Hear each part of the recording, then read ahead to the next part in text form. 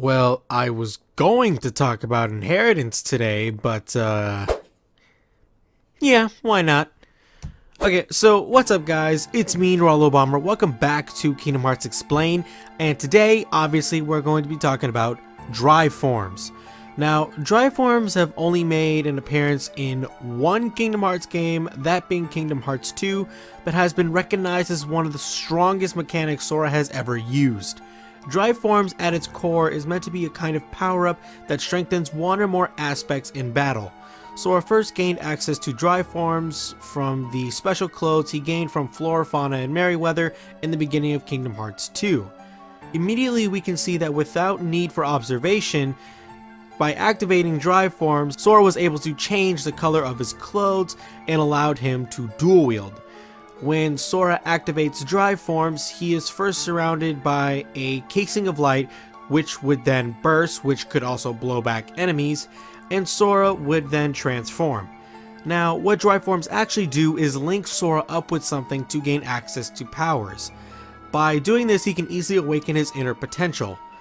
Valor form requires Sora link up with Goofy, by doing this, his strength and speed has been multiplied and he can also wield Ventus's Keyblade, along with his own because again, he can access his full potential with Drive.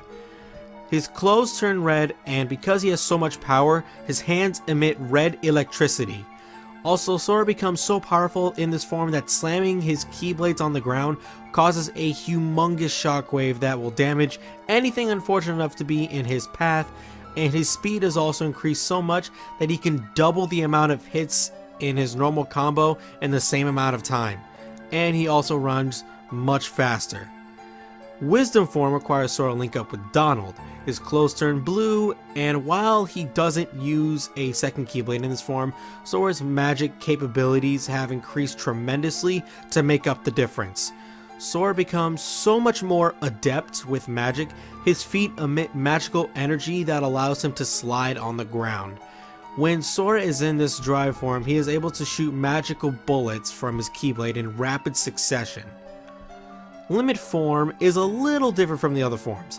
Instead of linking up with his friends, Sora links up with his past, by doing this, his clothes take the color scheme that resembles clothes that he wore in Kingdom Hearts 1, the clothes he wore in the past that he is linking to. While Sora doesn't emit any energy in this form, he can remember all of his old limits and abilities that he forgot in Kingdom Hearts 1. And not only this, but these limits also grant him healing properties. Master Form is a combination of Valor and Wisdom Form. It requires Sora link up with two friends, his clothes turn yellow and uses a second Keyblade just like Valor. By having this form, Sora exhibits absolute mastery over his ability to use the Keyblade. He attacks very fast like Valor form with two Keyblades, and he exhibits incredible magical prowess like Wisdom. In one hand, he physically holds his Keyblade that emits electricity like Valor, and in the other he uses telekinetic powers to levitate the Keyblade kind of similar to Wisdom. Final form is Sora's ultimate form. It requires he links with two allies, his clothes turn white, and he uses a second Keyblade just like Master and Valor. This form is meant to represent the pinnacle of Sora's powers and capabilities. Sora becomes so powerful he can use telekinesis on both Keyblades, can levitate off the ground, so he is always floating and can apply the Keyblade in almost any way to help him in battle. So while Master Form is meant to represent Sora's mastery over his use of the Keyblade, Final Form is meant to represent his raw power. Sora's power is so wild and set free, his Keyblade constantly protects him and will attack anything in the vicinity when he performs even the most basic of actions, even when it's just jumping, recovering, or landing. Sora is releasing so much power his clothes emit a constant bright light across his whole body. But this isn't all of Sora's drive forms. Anti-form is meant to be a side effect of overuse of drive forms. Sora unintentionally absorbs both party members, not linking, but absorbing. His clothes, along with his skin, turn black and his eyes turn yellow. Sora enters this form accidentally due to the fact that he became a Heartless and has yet to learn how to control the darkness in his heart. Because drive forms involve Sora linking his heart with others, the darkness in his heart could erupt and transform him. So obviously this form is meant to represent the dark side of Sora's heart. Because of this, Sora's mind becomes absolutely feral, and he walks on all fours instead of being bipedal. Also, instead of using a second Keyblade or gaining powerful abilities for the already existing Keyblade, Sora doesn't use any Keyblades in this form.